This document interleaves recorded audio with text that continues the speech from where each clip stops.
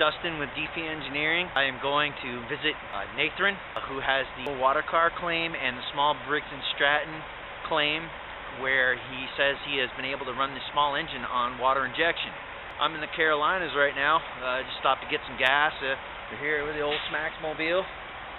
I'm doing the 2,000 mile round trip. It's actually 2,200 miles, 1,100 each way. I'm about halfway through right now. And uh, well, we got a lot of a lot of this going on.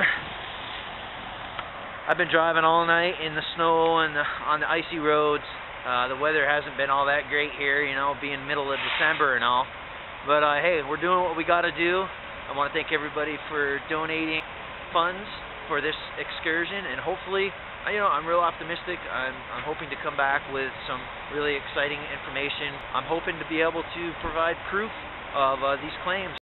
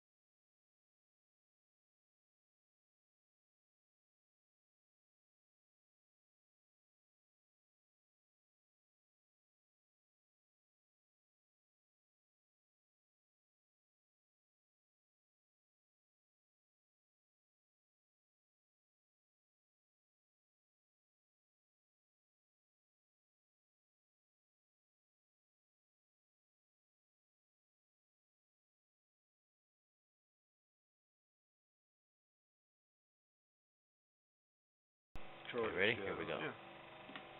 Okay, turn the switch on. See how slow it is? Yep. There it goes just a little bit. It's more than you would imagine. Alright, Yeah. let's change it. Alright, let me shut it off. Flip it around. And this Yeah. is how this is how you plate gold onto You got it on? Yep, it's on right now. Okay, you'll notice it calmed down. Yep. Yes. So this is how you're plating the metals. Yeah, you can do it like this, but if you notice, there's more gas there now.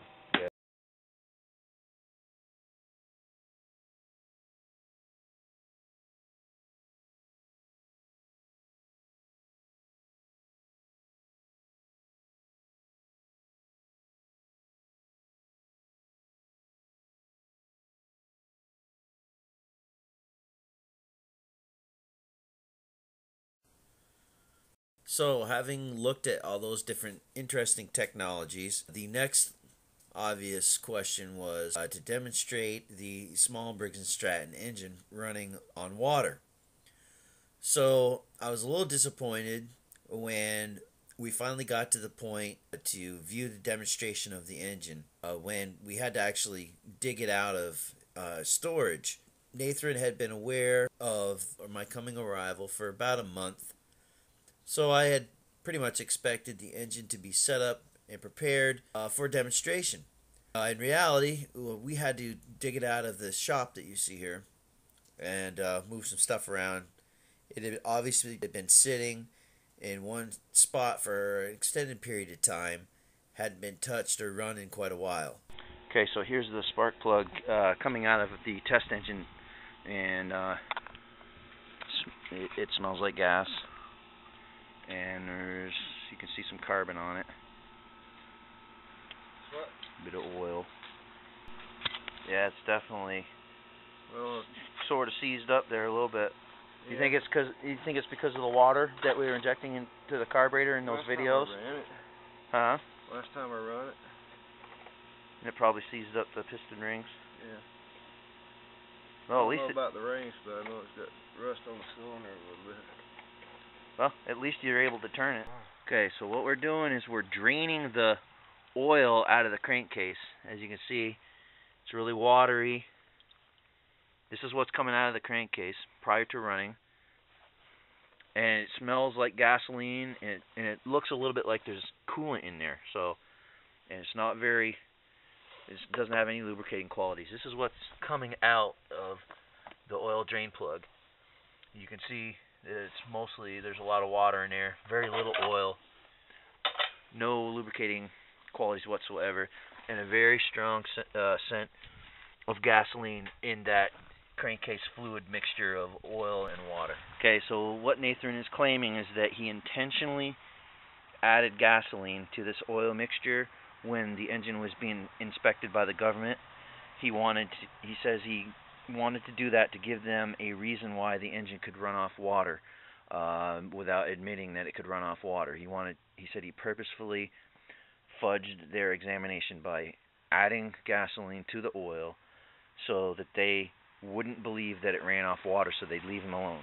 That's what his claim Okay, so to flush all the gasoline fumes and any oil residues out of the crankcase so that no one can say it's running off the fumes in the crankcase, he's uh, running water through the the crankcase with the oil filter off. You can see there's and there's a dish soap there. That's not gasoline, that is water. I can vouch for that. It looks like water and it smells like water. It's water. So there's no question about it. You put a little bit of dish soap in there, uh, and it's actually coming out through the the crankcase ventilation pipe and into the carburetor. So basically, this engine has been completely and entirely flushed, uh, as well as can be with a garden hose and Dawn dish soap detergent of any petroleum product. Okay, what we're doing right now, we're just turning the motor over with the spark plug out to push out any contaminants in the system any water get pushed out. That's it. We're just using the starter. Pushing out the water. Okay, so the next thing we've done, this is the float bowl of the carburetor. We've actually taken it off, taken the float bowl off so it's open. Here's the float bowl here, taken off and completely removed, including the uh, the shut-off switch. It's all gone. And what we have in its place is the float bowl, and there seems to be there's some electrical tape wrapped around the outside of it Keep the float. Uh, to keep to, right to keep the float from falling off. And there's the uh, I don't know if you can, it's really from the pretty dark, but the hose from the crankcase breather is sitting right there open, and we've taken the oil filter off. Okay, yeah, that's better. So here's the crankcase vent hose right there. And if you shine the light right on this bowl, here's the fuel bowl. Completely empty and devoid of any fuels whatsoever. Alright, this is the water that we're using. It's bottled water right out of the bottle. Never been opened. I personally cracked the seal on it. I smelled it. It smells like water. I tasted it. it. Tastes like water. There's no alcohol in there. There's no, as far as human senses are concerned, no detectable petroleum additives whatsoever. This is the same bottle that was used in the uh, YouTube video that was posted. It's the same exact bottle that he used before. Same exact tube. He's just demonstrating the fact that there are no combustibles in the tube. You watched us previously flush out the crankcase with water and dish soap. He's now adding the water, as you can see. So this is straight out of the bottle. I've checked it. I've smelled it. I've tasted it. It's it's spring water. It's just like anything that you buy at the store. Well,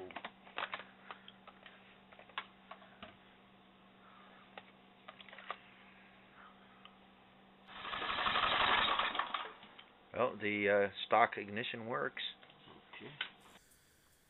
So now that we have flushed the engine of all petroleum contaminants and we have verified the proper operation of the stock ignition system, the next step is to install the custom coil system that Nathren has designed, which is the heart of the system and the only modification to the engine that he has done to allow it to, according to his claim, run completely off tap water.